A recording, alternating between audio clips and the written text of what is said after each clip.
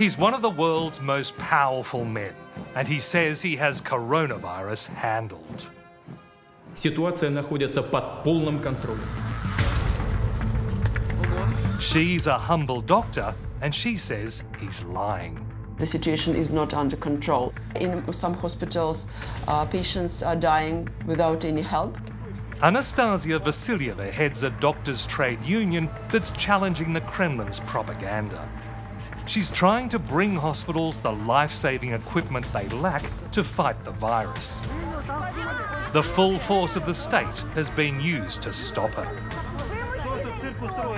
С чего ты решил, что ты можешь сюда что-то привезти?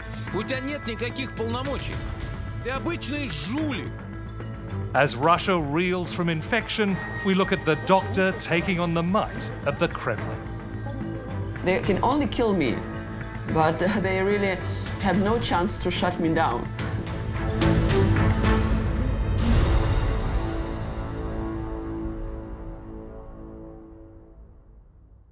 Ночью уснуть не могу никак И пришла я на техно, чтобы найти тебя снова тут Пальцы твои, как год назад If anyone can endure the privations of lockdown, it's Russians.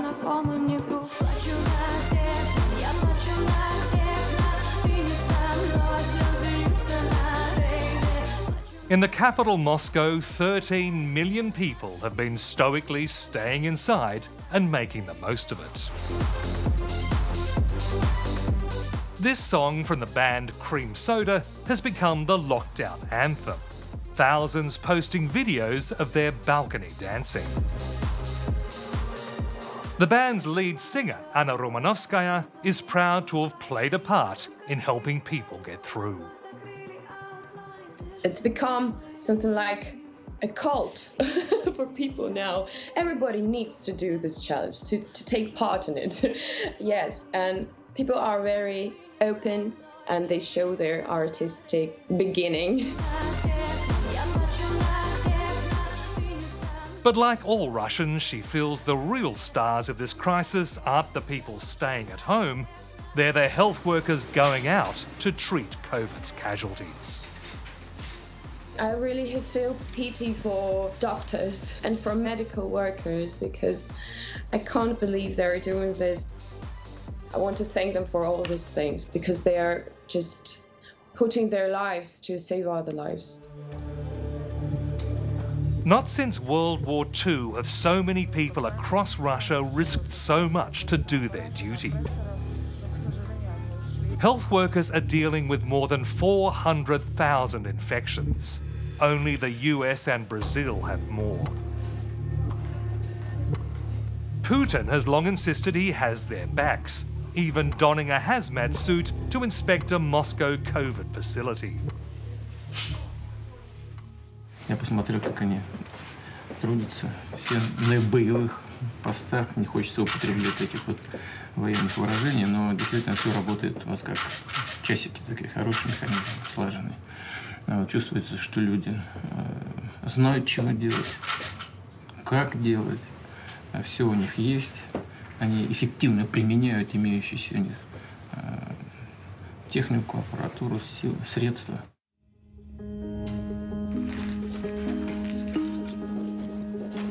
Кремль не слышит нас, врачей, но может тогда вся страна... But that's not what this doctor is saying. Помогите нам. Anastasia Vasilyeva is a 36 year old ophthalmologist. She doesn't treat COVID patients, but she's made it her mission to get help to the medical workers who do. Если вы думаете, что я сейчас нахожусь в зоне боевых действий в Сирии или Сомали, то вы ошибаетесь. Я в больнице номер 6, в самом центре Москвы. Шесть лет назад ее закрыли как невыгодную. Медиков сократили, пациентов отправили в другие учреждения. Her union, the Alliance of Doctors, runs a website exposing the dire state of Russia's public health system. Медицинской общественной акции. Мы поедем по всей России, чтобы инспектировать медицинские учреждения и привозить средства защиты медикам туда, где государство не может обеспечить их такой защитой. It is a direct challenge to President Putin.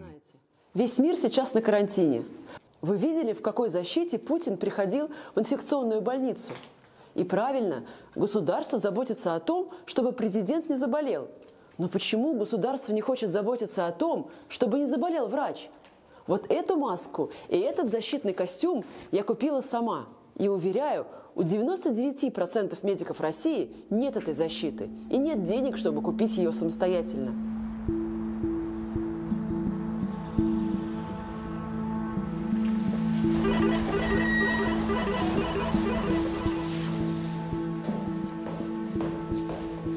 Dr. Vasilyeva may seem an unlikely nemesis to the Kremlin's strongman.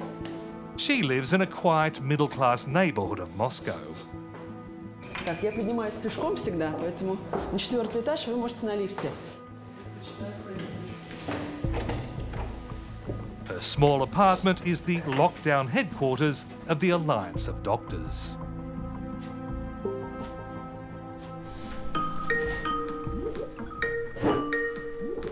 Anastasia, добрый день, как дела? Hi, how are you? I'm very well, thank you. Thank you. Thank you very much for talking to us. I've been following her campaign on Skype and through Moscow crews we've hired to film her. I want to find out why such a powerful state is so desperate for a doctor's good deeds to be punished. And that's why government doesn't want us to show these problems. And of course, they do e- everything now to, st to stop us, to interfere our, our actions. For Putin, this is not just about a virus. It's about his own political survival. For weeks, as the disease spread around the world, the Kremlin insisted Russia was safe. At this March 4 meeting, the Deputy Prime Minister, Tatyana Golikova, described reports of an epidemic as fake news. Хочу еще раз доложить вам, что это не соответствует действительности. Ладно, хорошо. Значит, что касается вбросов этих провокационных, ФСБ докладывает, что в основном они организованы из-за границы.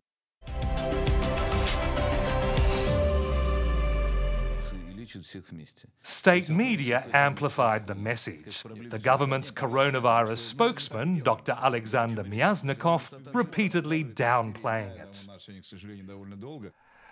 Я не знаю, зачем и кому это нужно, сегодняшняя вот эта истерия, потому что на самом деле этот коронавирус, он не очень контагиозный, то есть не очень заразный, ну куда меньше заразен, как, допустим, та же корь.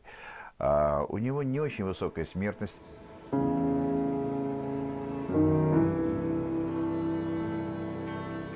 Maxim Trudolyubov is editor at large of the independent Russian business daily Vedomosti. He's weathering the lockdown in neighboring Lithuania. State-run television in Russia is a tool of political power, so it- it's just been doing what it was told to do. They were calling it a Chinese virus, just like President Trump. They were saying that uh, those were probably some biological weapons that escaped from a lab or something. So uh, they've been really silly, uh, and that was clearly a Kremlin policy in the beginning. They wanted to downplay uh, uh, the, the crisis because uh, uh, Putin obviously had his politics on his mind and The deadly infection intruded into Putin's plan to be president for life. He's currently serving the last term allowed under the Constitution. On March 10, he called a referendum that would allow him to rule until 2036. Как вы проголосуете 22 апреля, так и будет. Putin wanted 100 million Russians to come out in the middle of a pandemic to queue to vote for him. по революциям выполнен. this whole year 2020 was supposed to be about bolstering his political role in Russia. And then suddenly there's something that steals the show completely from him.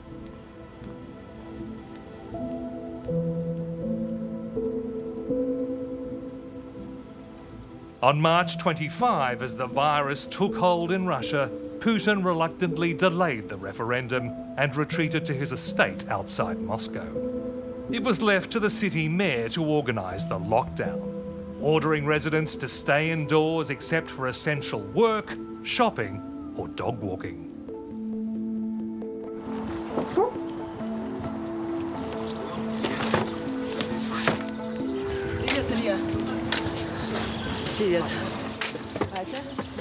Anastasia Vasilyeva has not stayed locked down. It's Monday morning outside her apartment block, and she and her colleagues are getting ready to do a run Doctors from three hospitals have contacted them asking for protective equipment. В коробках, ну вот большие коробки – это респираторы, маленькие коробки – это э, антисептик. Вот. Ну еще там коробки с костюмами, э, маски и перчатки. Да, вот. Ну я думаю, это уже в моей машине. Вот. Ну, в общем, так, такая подготовка. They have to move fast and stealthily. While the medical staff are desperate for what they can bring, she says hospital administrations have been told not to accept it. Сейчас оденем костюмчик. Эти костюмы многоразовые, так что они чистенькие, постиранные.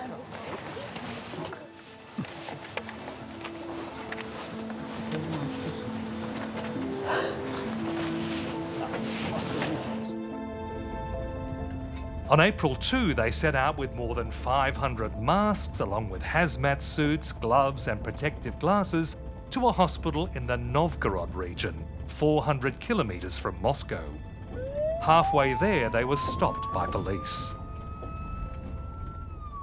We just wanted to help. We just wanted to, to, uh, bring this PPE to the hospitals, uh, to the hospitals and to the medical workers. But I think that these policemen, they had an order from the officials. утверждает, что вы не больны коронавирусом. Мы, мы собирали деньги всей страной, чтобы купить вот это. Вы нас задерживаете. Как вам не стыдно? Вы страну должны защищать. А вы тут что творите? Что вам ваша мама скажет, пожилая, которая может умереть от этого пояснил. коронавируса? Police told them they were being taken in for questioning. За нами. И одна машина вон там вот вдалеке. И там вот вдалеке еще одна машина. Вот смотрите. Все нас везут в ВВД. Вмес- Вместо того, чтобы нас э, сопроводить вместе со средствами защиты и доставить их в больницу, они нам препятствуют. To protect themselves, they had brought along a lawyer and their cameras. Если я не вижу на вас сейчас нагрудного знака сотрудника полиции. Будьте, будьте добры, никто пожалуйста, не видит. проследовать для, для дачи объяснения. А куда проследовать? Я не задержан. Обращаемся к президенту России Владимиру Владимировичу Путину. Вот у вас, Владимир Владимирович, прекрасный импортный защитный костюм, а у медиков средств защиты индивидуальной вообще нет. Вот мы собрали деньги со всей страны. Помогает нам привести эти средства защиты в больницу. Но вот тут ваши подчиненные ГИБДД, полиция нас остановила и не дают нам этого сделать. Видимо, нам придется просить у вас личный пропуск, чтобы обеспечить медиков средствами защиты. As they waited in town for questioning, the hospital's doctors managed to find them to collect the equipment. Спасибо им большое за оказанную помощь, так как в больнице ничего не хватает. Да нигде ничего не хватает. Масок вот не купить в аптеках нет. Так что мы очень вам благодарны.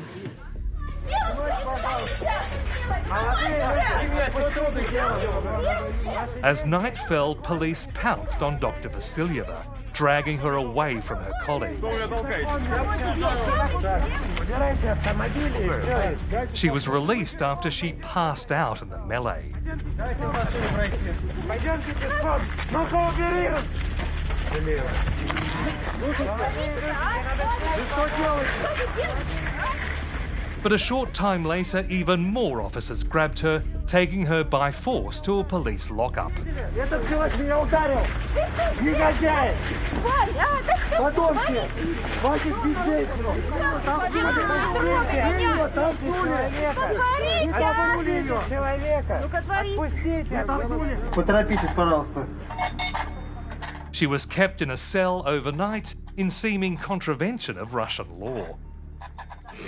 Права отнять дети до 14 лет. их оставили там один. Вы меня здесь держите уже 10 часов. То есть вы, обладая информацией, вы обладая информацией о том, что у него дети, хотите ее сейчас Но она, арестовать? никакой информации нам об этом не У вас предоставляет. нет, она сейчас вам об этом говорит. Вы обязаны это проверить по информационным регистрам МВД. Вы обязаны это проверить. Вы не можете э, задержать на срок более трех часов женщину, имеющую детей до 14 лет. Без защитника она не пойдет никуда. Больше трех часов она не, не- не имеет быть права задержанной.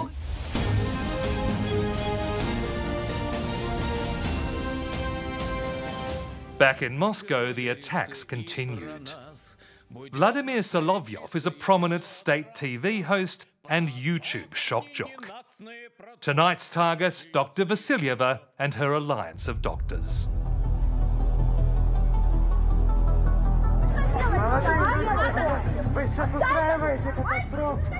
О чем вы вообще, психи?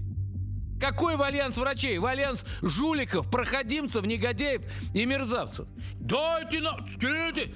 Вы же все время лжете, вы же набор лжецов. А почему ты на машине без документов едешь? А почему ты вообще нарушаешь режим и вообще выезжаешь за пределы Москвы? Откуда знать, ты поехала в больницу, где ты читаешь люди, а ты что решила, что ты не заразная? Ты вообще хоть что-то вирусологии понимаешь? Ты свой диплом откуда получила? Кто тебе его выдал? Кто тебя учил? Ты офтальмолог! Из себя вирусолог, как из говна пуля. Ой, простите, нехорошее слово. Из дерьма.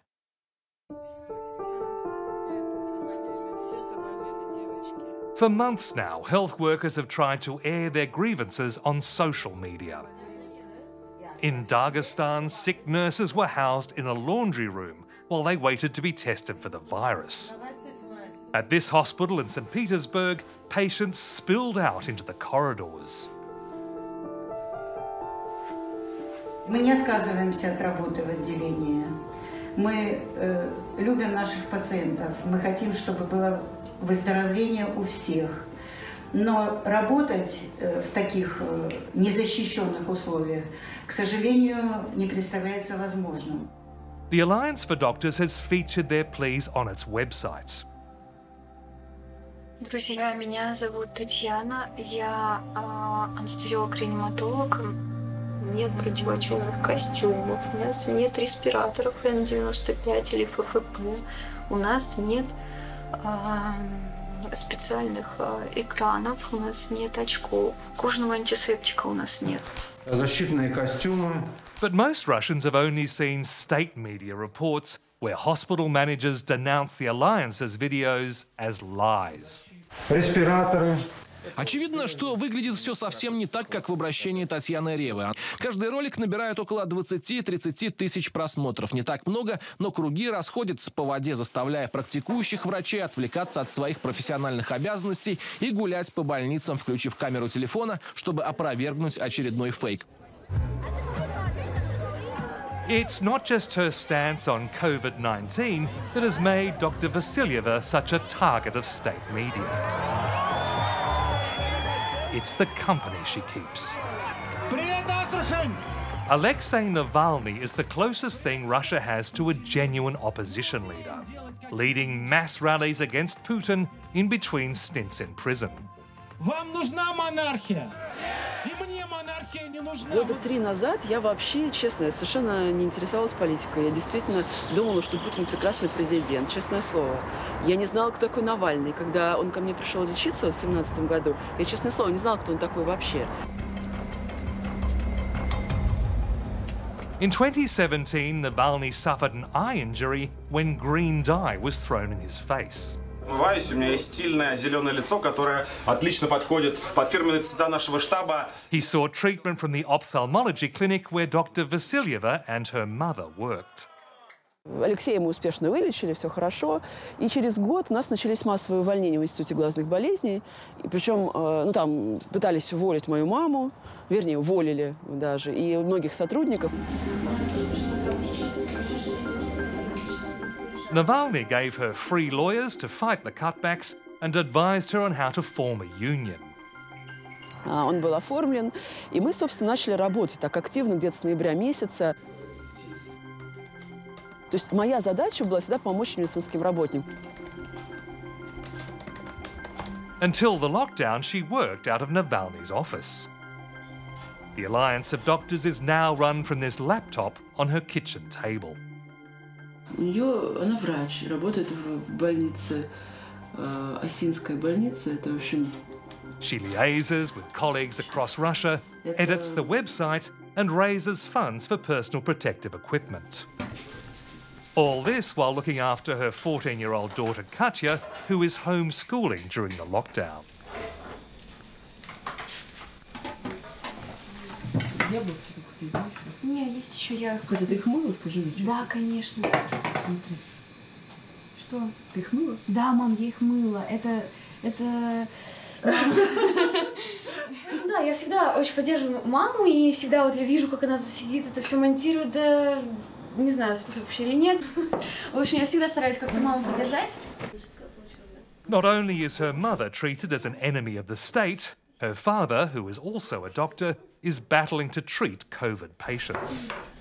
My um, ex-husband, he is now is working in in the uh, Corona hospital, and he said that it's very difficult to work with the lack of PPE. They have no chance to eat, to drink. The longer we spent with Dr. Vasilyeva, the clearer it was that the constant harassment was taking a toll. Um, now I'm, I'm really very tired uh, with this, um, uh, with the crying of medical workers, and uh, I just try to, I'm trying to uh, resolve the problems, but Dr. Vasilyeva, it can be very dangerous to challenge the Kremlin. A lot of journalists have been killed. You've been very brave, um, but do you worry about your own safety? Um, I really do not afraid of uh, anybody of anything because uh, so what what they really can do for me, I only I'm only telling the truth, and uh, just all my uh, sentences, all my words, I can prove really with the facts, and uh, that's why I I'm not afraid of anybody. I'm not frightened by by the by the actions of government, by their words.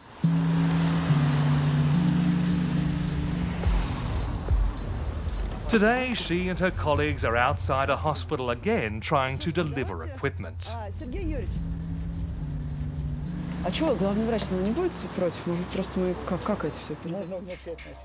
They first have to work out if the hospital administration will accept it. They wait nervously, dressed in protective gear in case they get the all clear, joking to break the tension. А? Это точно не меня. Почему? Как там? Я, блин, жаль, не успел. This time, to their relief, they don't have to deliver in secret. Ну вот главный врач вроде как не против. Это очень здорово и большое спасибо, что получится обеспечить медиков и их безопасность. Так что вот несем в поликлинику номер 205 Юго-Западного округа. It seems a turning point for their operation. И это да, вот первый раз нормальные отношения. Без конца собак спускают. Что уже, наверное, просто достигла ситуация того момента, когда ну просто абсурдно э, спускать собак и говорить, что нам ничего не нужно, у нас все есть. Когда все люди уже понимают, что вот, вот он дефицит, и медики могут заболеть, и поликлиника закрыться на карантин, и в итоге люди перестанут получать помощь. But their relief is short lived. Как конспирация сплошная. At this hospital, they're not allowed to enter. Doctors have to meet them outside and load the supplies into their cars. Давайте быстренько перегрузим. Вот это все, да, получается?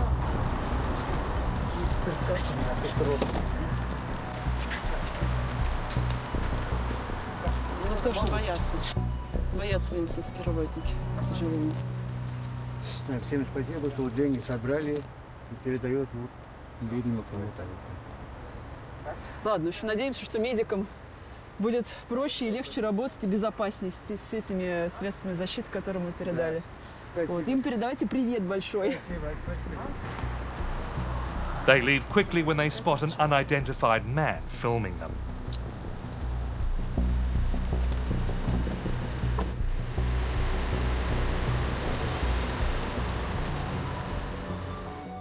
Since the early days of downplaying the danger, state television has switched course, showing Putin as a man of action leading the fight from his ISO bunker.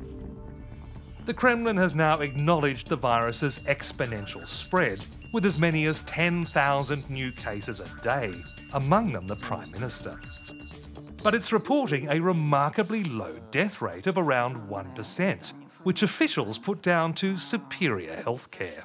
относительно того, что уровень летальности в Российской Федерации в 7,6 раза ниже, чем в мире в целом, он таков, и мы никогда не манипулировали официальной статистикой. I don't believe I know that I know that it's a very, a very terrible lie. It's the same virus. But in Russia, maybe we have we have we have some magic uh, medicine.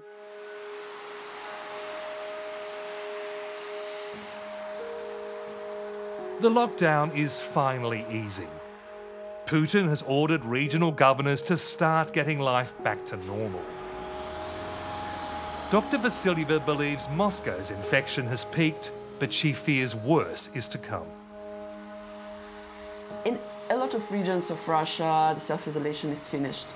But in some uh, regions, the, it's only the beginning of the infection. So what we can get now, uh, in the regions, there will be a terrible situation with a lot of patients uh, with the coronavirus.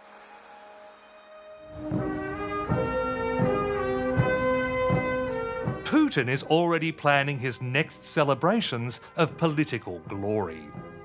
In May, he had to postpone celebrations of the end of World War II. Instead of holding a military parade in Red Square, he could only lay a solitary wreath But he's now ordered mass parades across Russia at the end of June. Мы сделаем это 24 июня, в день, когда в 1945 году состоялся легендарный исторический парад победителей. And he's declared there will be a public vote to extend his rule on July 1.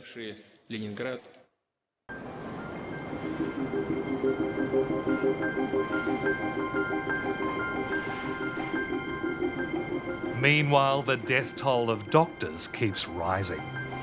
In Russia's second city, St. Petersburg, friends and relatives place photos of health workers who have died from coronavirus. This unofficial memorial is opposite the city's health department, so bureaucrats have to see the daily casualties. Very big quantity of medical workers uh, died now. It's about 200. It's not official statistics. The medical workers themselves are writing this, uh, this list. For Anastasia Vasilyeva, there is just one way to honour them, and it's worth any price. We are helping medical workers, and I know that we are supporting them, and they are supporting me. I want very much to help our people, to help medical workers. Really, I just, it's my wish, it's my, um, it's my dream to help them. And um, I'm ready for everything.